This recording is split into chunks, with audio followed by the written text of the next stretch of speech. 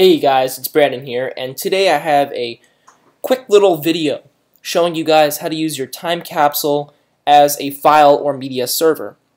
Now, if you're like me and your memory is completely shot on your computer, 80% space used, or, or, if you have more than that, uh, God bless you.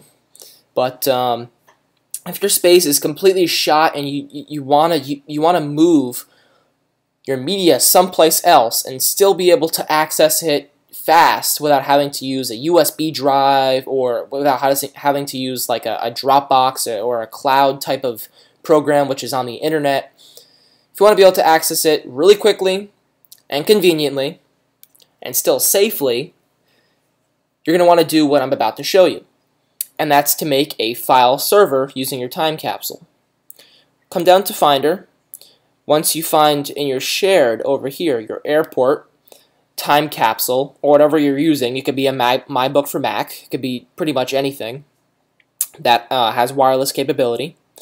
You're going to come into data, which basically represents the time capsule. And you're going to see, hopefully, a, a backup disk already on here. Now, Brandon's MacBook Pro this, this is essentially my backup that I've already done, and by backup I mean my time machine backup located in System Preferences.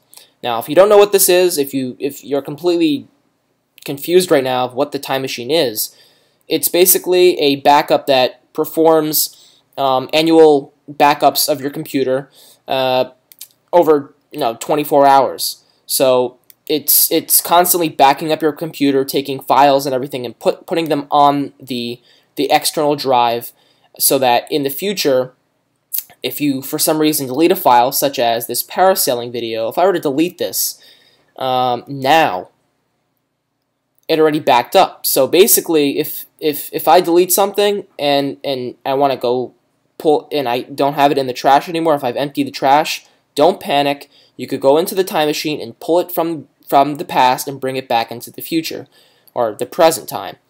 So this is a really easy feature to use. I'm not going to explain too much about it, but I just wanted you guys to know that this thing right here represents the, the, the time capsule or the time machine backup disk. So once again, step one, share drive or your airport, whatever you have here. Data, if you have your, your backup, which I highly recommend you do first, that's that right here. As soon as you're done with that, backing it up, you're just going to file, or you're going to right click, new folder, or you can always go to file, new folder. Um, once you do that, which I've made here, you can call it whatever you want. I called it file server just so it's so it's easy to notice. Oh, the, the other one pop up right there. Just trash that. Uh, create another folder, and from here, you can put whatever the heck you want in this file server, or this folder. And how you do that is simply go up into your Spotlight and search it, iPhoto, drag and drop right into there. Same thing for your iTunes library. Drag and drop, and you're done. Now, I don't know what you guys are going to be using this file server for. I, I know for sure that I'm using it for my iTunes and my iPhoto library because these two things are what take up most of the space on my computer. And once I delete all of the photos uh, and, and delete whatever music I don't want or whatever music I don't want to be using um, every so often or every day, I'm going to have a lot of space freed up on my computer. And I know about 65 to 70% of my computer is taken up just by media.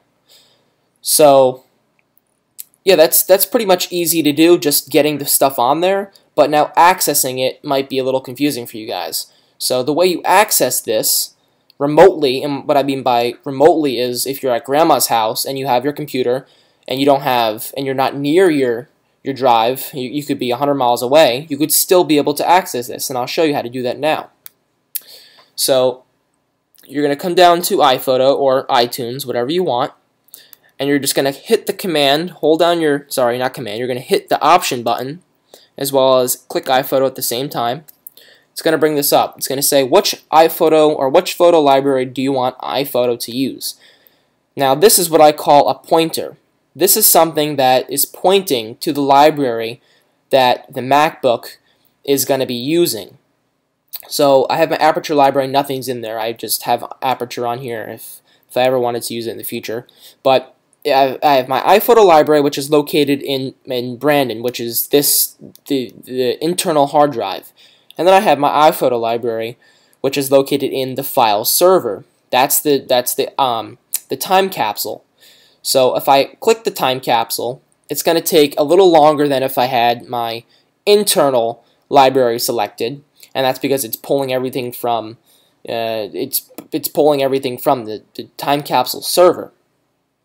So once I pull it up, it's going to be the same exact things that uh, I had, and it's going to be a little bit more choppy, and that's once again because it's it's going through the server. It's not directly on the device, so it's going to be a little bit slower. But once it's up and running, it's just as fast as if you had it on there. And I have all of my albums, my events, everything on here. It's it's very easy to use. It's the same exact thing. And um, it, it works perfectly because it's this this stuff is technically not even on my MacBook. It's not on my hard drive, so I have a whole lot of space once I delete the existing album located or the existing iPhoto library currently on the the internal drive.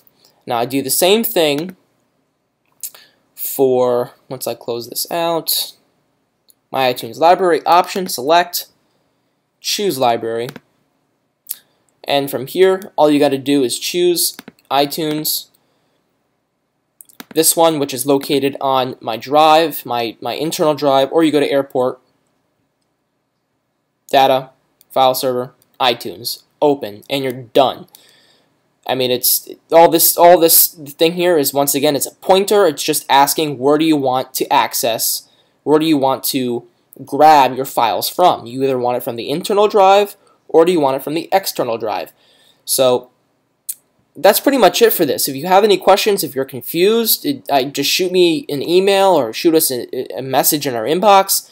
I'd be glad to help you. Um, I'm learning myself. If you have any tips for me, uh, I love learning about new computers, software, stuff like that. So if you you're confused, just leave a comment. If you found this video helpful, subscribe to us and like it. I really appreciate it. So this has been Brandon with a little tech bite, a little tech help. Thanks for watching.